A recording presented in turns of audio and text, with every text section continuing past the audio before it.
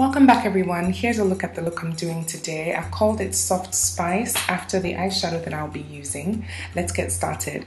So first off, I primed my eyes and I'm using Violet Storm Cream Eyeshadow from Mary Kay. It's a purple primer, but we're going to cover it up so it really doesn't matter what color primer you use. I'm applying that all over my eyelid area with my fingertips. Next, I'm using a highlighter from Taos in Hot and Spicy, and I'm going to use it as an eyeshadow. So with a flat, sable-haired eyeshadow brush, I'm applying it all over my eyelid. Then I'm going to take it a little higher than my eyelid because for this look, I'm trying to create the um, look of very big eyes. The first thing in my crease is actually a powder. This is Cacao from Maybelline and I'm applying it with a Hegai and Esther crease brush into my crease then I'm applying a matte brown eyeshadow from the Sam Fine for Fashion Fair collection into the very inner V of my crease. And again, I'm taking this a little higher than my actual crease to make my eyes appear bigger. I'm blending with a blending brush and gently pulling it towards the inner corner of my nose. I'm going back and forth with these brushes just to blend it out and get the crease as dark as I want it, but I'm still keeping it really soft. I line my eyes next with gel liner from Zaron. And to get the perfect sharp line, I'm going to lay down some tape in my outer corner and then I'm going to gradually line my eyes using a brush, an angled brush from Real Techniques. Every time I do a winged liner, I like to build the liner. So I start really small and gradually pull it in to get the shape that I want.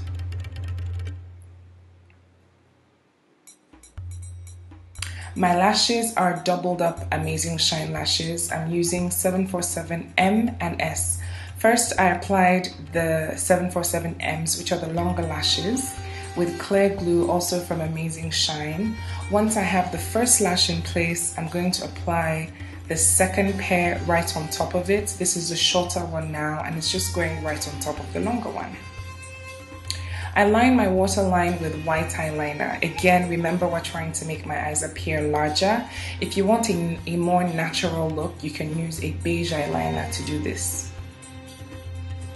My mascara is also from Maybelline. It's the Falsies Big um, Eyes Mascara. I use the big side on my top lashes and then I'll swap to the smaller side for my lower lashes. This mascara is amazing. Whoever came up with these two brushes in one is a genius. then from the same palette, the same Sam Fine for Fashion Fair palette, I'm going to highlight my brow bone with the shimmery gold shade. Blend that into my crease color and we're done with my eyes. I primed my face and then applied Mary Kay foundation all over and highlighted my face with the Black Up contour stick. It looked a little something like this. And then I'm going to blend it all in and I'm using a small dual fiber brush to do this. This one is from Delium Tools. Then I set my highlight with banana powder from Ben Nye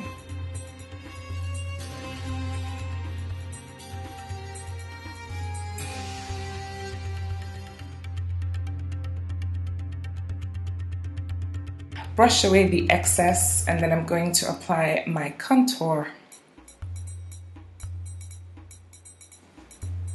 Today's contour is going to be very soft so I'm only using the cacao powder from Maybelline and an angled brush. This one is from Hegai and Esther. I applied that under my cheekbones and around my forehead. I'm also softly applying it down the sides of my nose. Blend, blend, blend my blush is Demerara from the Sleek Blush by 3 Sugar Palette. And then with the Taos highlighter that I'm wearing on my eyelid, I'm going to highlight the center of my nose very slightly. I'm keeping my lips soft as well.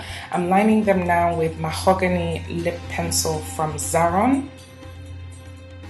I line the outer rim of my lips and then gently pull in the pencil, smack, and then my lipstick. This one is Butter from NYX. In the very center, I applied Calla Lip Gloss from BM Pro, which is white. Smack, smack, smack, and we're done. Here's a look at the finished look.